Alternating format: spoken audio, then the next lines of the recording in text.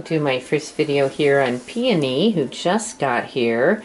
This is a beautiful um, classic uh, Siamese gal. I think she's probably about 10 years old. We'll we'll get a better estimate um, at the at the vet visit. Um, she was found injured, um, had some injury to the the base of the tail and maybe had been hit by a bicycle or something, uh, a lot of axle grease on her. Um, so the family has brought her here. They couldn't keep her. Very, very sweet. They, they had her for a week and said she was a lovely, affectionate cat.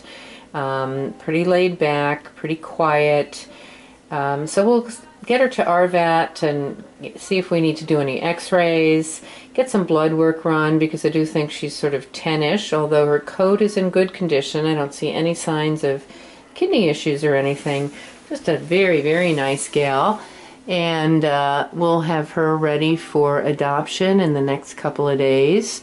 But um, we look forward. She's got a little bit of an eye issue on the on the left, her left. So we're treating that with some eye antibiotics, and uh, we look forward to getting to know her a little bit better. Hi, aren't you pretty? What a pretty girl you are.